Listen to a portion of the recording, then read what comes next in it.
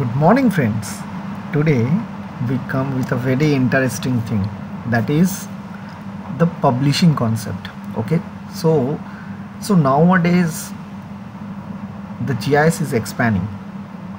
The GIS world is expanding, and uh, we are now entering in the world of web GIS Okay, so earlier whatever data analysis we are actually doing that is actually stored in our desktop platform only. If someone will ask me okay uh, share your data we do the further analysis on that so then it will be very difficult uh, to give that data to him because I have to copy the, the all data in a hard drive or pen drive and then we'll have to share it. Okay? So now there is a concept of dynamic map which will come to the picture. So what you can do is you can create a web map and that you can share with anyone. So now the question is today we will going to learn so many things in in future but at least we will learn how we are actually publishing our data in the website in ArcGIS online how we're going to publish it. So see here as you seen this is uh, some maps will be there for world maps and these are the some volcanic locations will be there. Okay so these are the some volcanic locations will be there. What I want over all these volcanic locations I want to publish in ArcGIS online. So how we going to do that? So to publishing it ArcGIS online so here we have options for the share. Okay in ArcGIS Pro you have this share options. So these are two things either you can create as a web map to publish or you can create as a web layer to publish. So web map basically whenever you have so many layers here and that you want to publish as a web maps okay? So then you can go and publish it as a web map. But now suppose I have here only one layer only one layer that is volcanic eruptions spots. So that I want to publish. So I can go for the web layer okay so what I going to do I go under web layer and I will just go for this publish web layer. Okay so just simply select it as a publish web layer. So now once you click on the publish web layer so you have options to fill some form. So you can give this name as a volcanic map.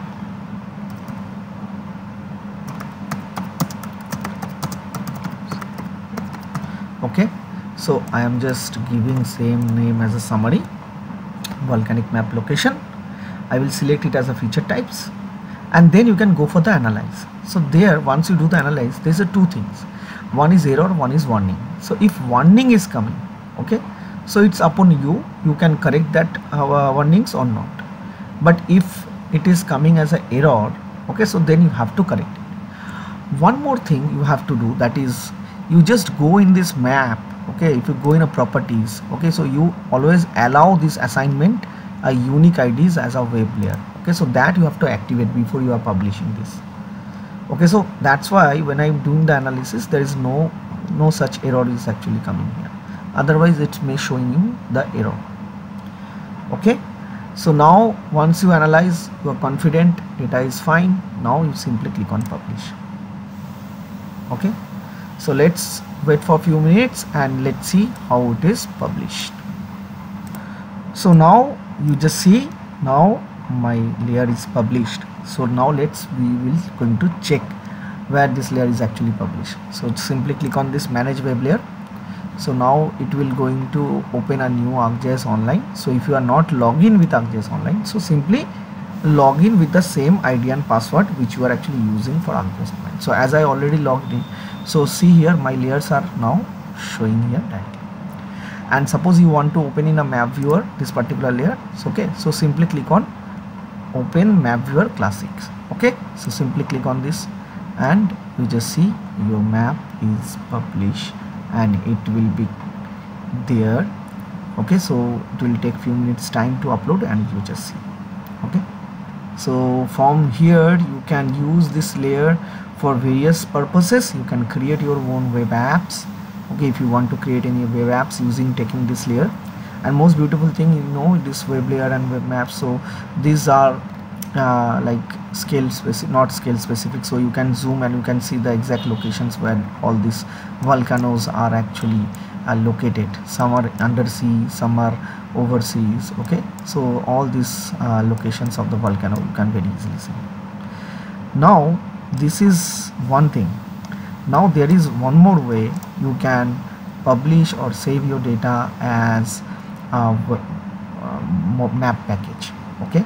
So map package is also kind of a kind of a backup things you can do okay?